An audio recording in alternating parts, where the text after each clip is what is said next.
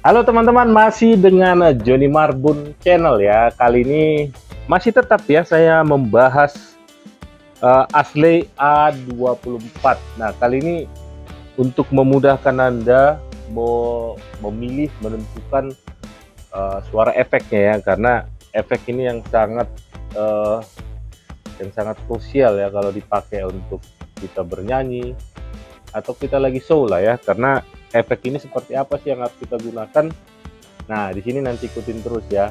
Saya akan kupas tuntas efeknya sampai benar-benar nyaman dan enak sekali dipakai teman-teman ya. Oke yang baru bergabung jangan lupa selalu stay di Johnny Marbun channel. Oke langsung aja kita lihat seperti apa nanti settingan efeknya. Yuk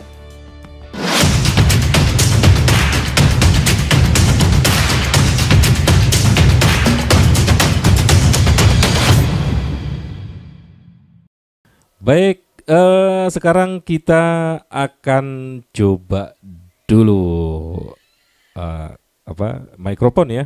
Kita coba mikrofon. Nah, ini dia ya.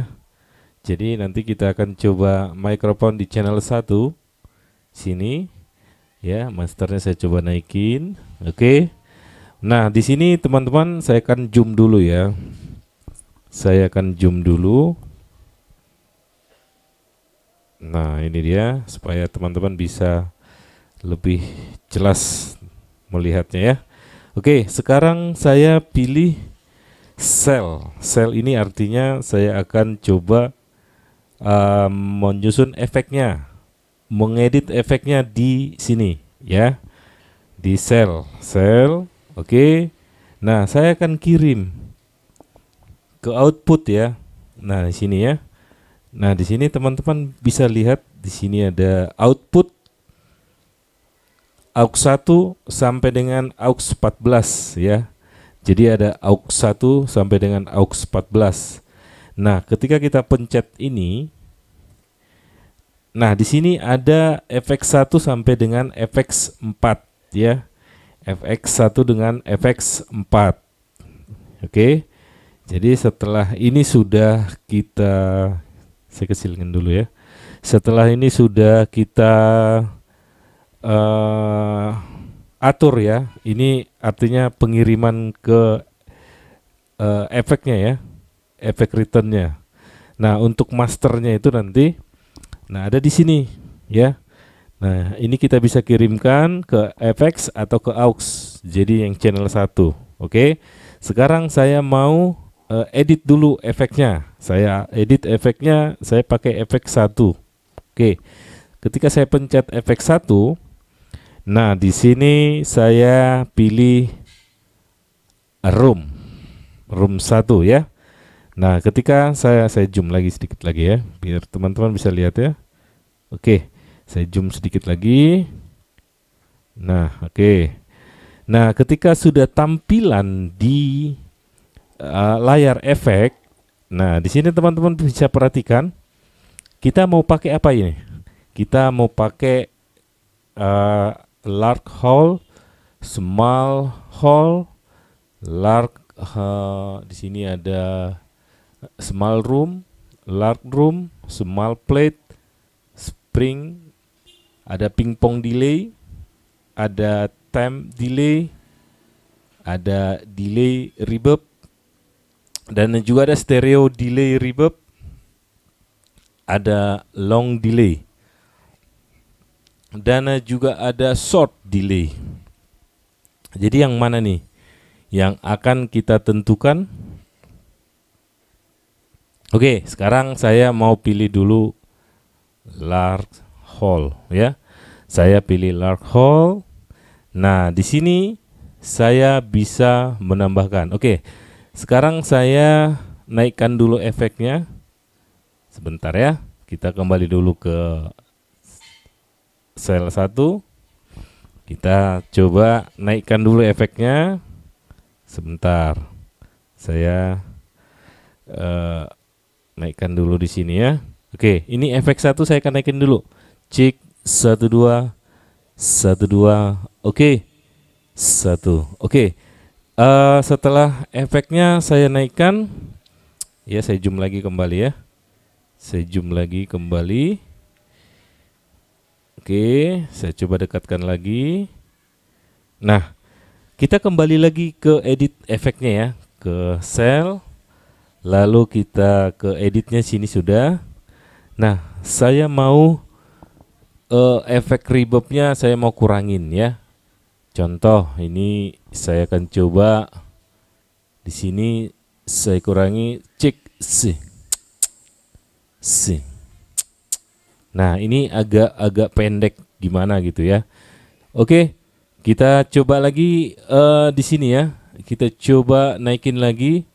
Oke satu dua cek si.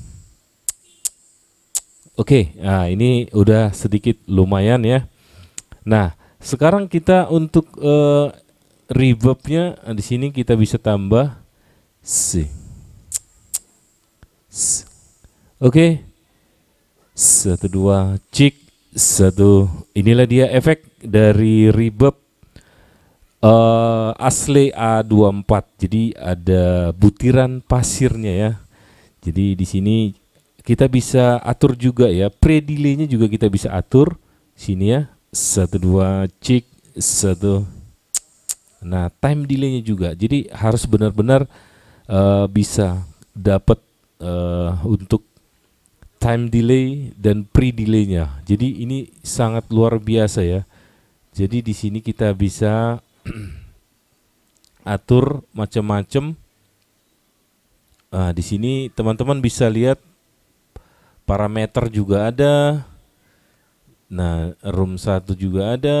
Dan ini tadi user ya segala macam ya. Oke. Kita kita bisa simpan. Ah ini kita bisa simpan ya. Oke. Sekarang kita uh, pitch pitch shiftnya juga ada. Nah di sini reverb delay dan multi effect Nah ini jadi banyak sekali ya teman-teman ya. Jadi ini kita bisa bereksplor langsung di uh, efeknya ini. Coba kita masuk ke settingan equalizer. Nah, kenapa saya setting seperti ini? Supaya uh, desis reverbnya itu lebih dapat di frekuensi high-nya di sini ya. Nih di sini teman-teman bisa lihat di sini. Nah untuk frekuensi middle, uh, low segala macam saya cut di sini ya. Jadi supaya dapat desisannya saja di sini. Oke. Jadi ini uh, settingan yang paling gampang Anda pelajari nanti ketika Anda mempunyai mixer ini. Wow, luar biasa ya. Nah, nanti untuk dual efek kita akan coba dulu menggunakan dual efek. Oke. Ini tadi sudah, sekarang kita kembali ke dual efek. Sekarang saya pilih di efek untuk uh, ini untuk delay ya. Saya pilih di sini. Oke, okay, di sini saya pilih efek delaynya. Nah, di sini teman-teman bisa pilih di sini ada pingpong delay. Nah, ini ya, pingpong delay. Saya akan coba naikin dulu. Cek satu Oke. Nah, di sini nanti kita coba turunkan dulu ini. Lalu kita arahkan dulu ke efek efek yang yang ini ya. Kita arahkan dulu di sini. Oke. Setelah itu lalu kita pindah ke uh, ini ya. Ini efek pingpong delay ya delaynya kita bisa naikin di sini. Nah, satu, cek, ha, satu dua, eh, ya, cek. Oke, nah di sini uh, kita bisa tambahkan uh, gainnya ya, gainnya di sini atau kita coba dulu. Delaynya kita bisa rubah di sini. Cek, satu, Nah ini dia. E. Satu dua. He. Ye. cek satu ye cek oke cek satu dua ye Oke, ini karena masih terlalu pelan, kita akan coba lagi. Ya, kita coba dulu.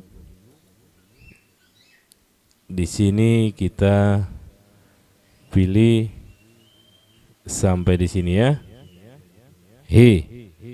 Satu dua. Iya. Cik satu.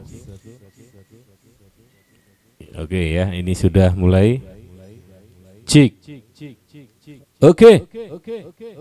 Satu.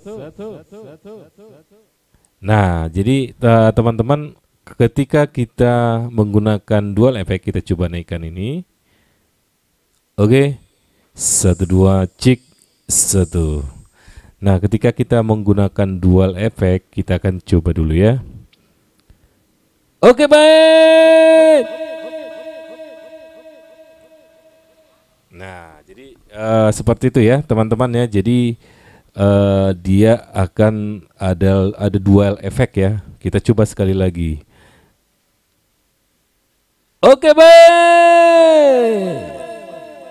Ya, nah seperti itu ya. Jadi uh, ada dual efeknya langsung terbaca, teman-teman. Oke.